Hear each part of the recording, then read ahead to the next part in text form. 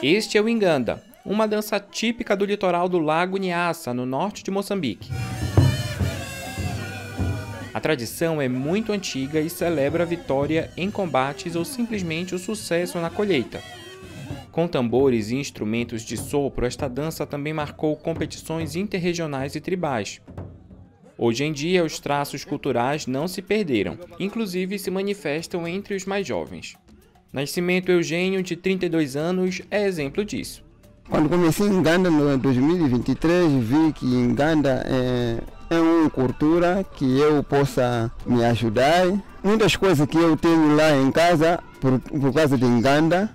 Anastácio João também dança em Ganda e é membro do grupo Porta Amélia, que existe há mais de 90 anos. Ele dá detalhes desta manifestação cultural moçambicana. Existia o tamborista, alguém que pegava o batuque e outro que batia batuque pequeno, e esse que batia também na enxada e outro que batia naqueles latinhas. O primeiro grupo e o segundo grupo utilizam cabaças grandes e os outros utilizam cabacinhas pequenos.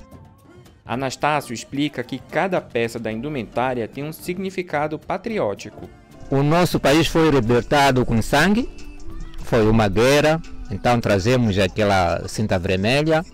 Agora estamos livres, então trouxemos aquela camisas brancas e calções brancas para saber que é um país independente. E as penas também, como temos vermelhas e brancas, também têm o mesmo significado. O grupo Porta Amélia é o mais antigo da dança enganda em Moçambique e fará 100 anos em 2025. Espera-se uma grande comemoração incentivando os jovens a aderir à cultura.